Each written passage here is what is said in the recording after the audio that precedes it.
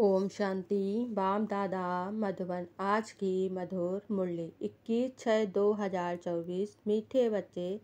देवता बनने के पहले तुम्हें ब्राह्मण ज़रूर बनना है। ब्रह्मा, मुख, संतान ही सच्चे ब्राह्मण हैं, जो राजयोग की पढ़ाई से देवता बनते हैं। प्रश्न। दूसरे सभी सत्संगों से तुम्हारा यह सत्संग किस बात में निराला है? उत्तर। दूसरे सत्संगों में कोई भी एम ऑब्जेक्ट नहीं होती और ही धन, दौलत आदि सब कुछ गंवा कर भटकते रहते हैं। इस सत्संग में तुम भटकते नहीं हो।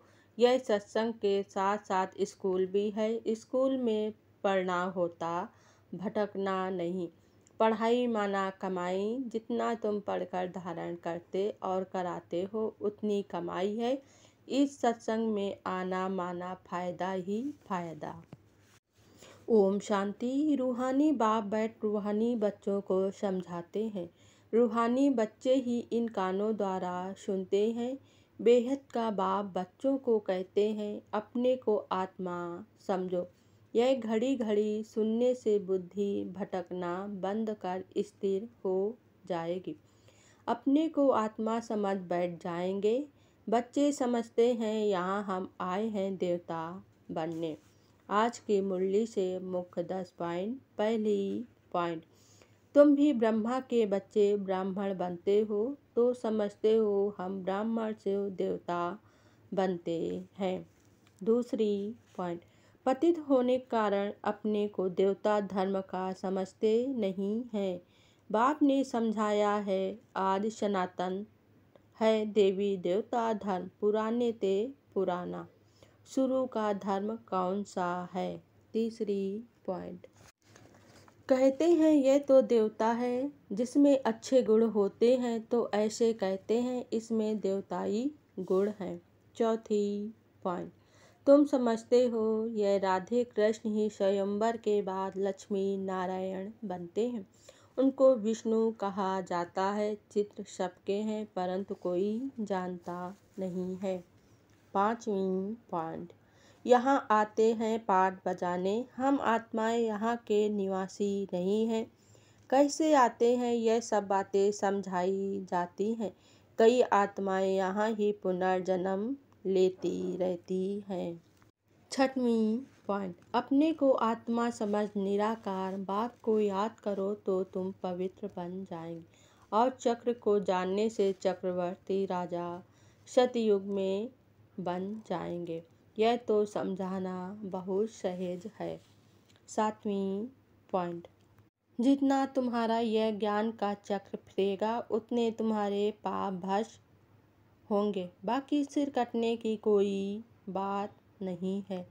चक्र कोई हिंसा का नहीं है। आठवीं पॉइंट। तुम मीठे मीठे बच्चों को अथा खुशी होती है। अभी तुम समझते हो हम आत्मा हैं। पहले तुम अपने को आत्मा भी भूल गए तो घर भी भूल गए।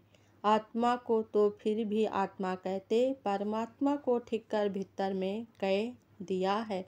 आत्माओं के बाप की कितनी ग्लानी की है।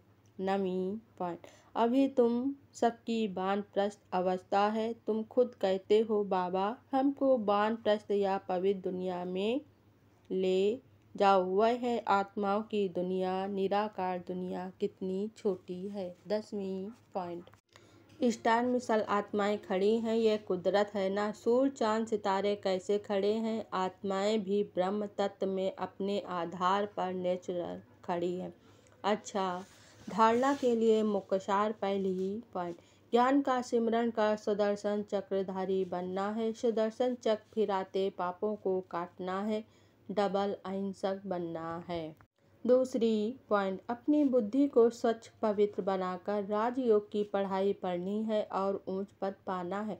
दिल में सदा यही खुशी रहे कि हम सत्यनारायण की सच्ची सच्ची कथा सुनकर मनुष्य देवता बनते हैं। वरदान आज बाबा ने दिया। मन बुद्धि को आदर प्रमाण विधि पूर्वक कार्य में लगाने वाले निरंतर योगी भव स्पष्टीकरण, निरंतर योगी अर्थात स्वराज अधिकारी बनने का विशेष साधन मन और बुद्धि है। मंत्र ही मन मना भाव का है, योग को बुद्धि योग कहते हैं। तो अगर यह पुरुषार्थ विशेष आधार स्तंभ अपने अधिकारी में है, अर्थात आदर प्रमाण विध पूर्वक कार्य करते हैं, जो संकल्प जब करना चाहो वैसा संकल्प कर सको। जहाँ बुद्धि को लगाना चाहो, वहाँ लगा सको। बुद्धि आप राजा को भटकाए नहीं। विधि पूर्वक कार्य करे तब कहेंगे, निरंतर योगी। स्लोगन आज बाबा ने दिया। मास्टर विश्व शिक्षक बनो। समय को शिक्षक नहीं बनाओ। ओम शांति।